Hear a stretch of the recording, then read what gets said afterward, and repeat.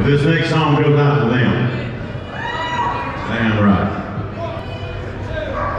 right.